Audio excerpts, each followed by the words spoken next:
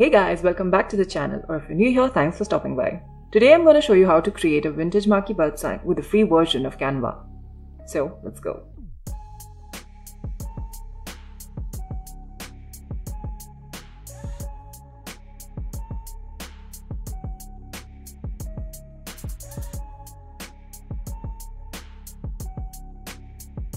Now as you can see here, Canva has these letters in a few styles.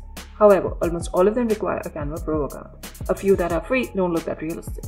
I'm sure this would be much easier and better with Photoshop, but I wanted to try and make it with Canva. So here's how you can create this effect. I'm going to start by writing out the word. You can press the letter T on the keyboard for a new text box. I want a font that's blocky and strong, so let's go with League Spartan. Change the size and the letter spacing. Now the color. I'm going to use a reddish color and then give it an outline. Go to Effects and select the outline effect.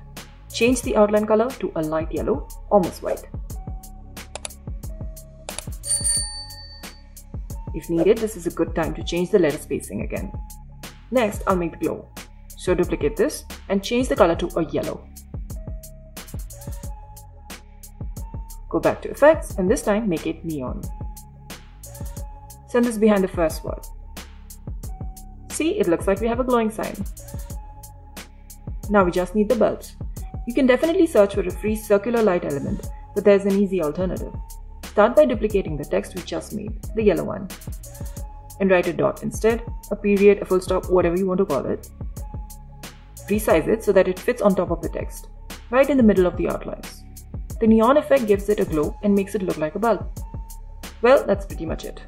I'm going to fill this in all the spaces. For straight lines, add the required periods in a row. For any curves, add them one at a time.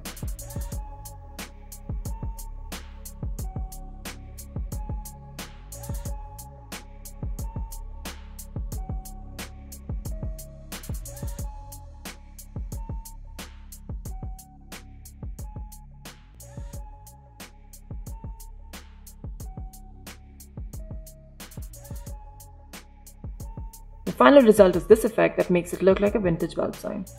If you enjoyed this tutorial and found it useful, a thumbs up on the video would be really appreciated. Stick around for more of my content by subscribing to the channel and be sure to press the bell icon to stay updated on the new videos. As always, thank you for watching till the end and I'll see you in the next one. Take care.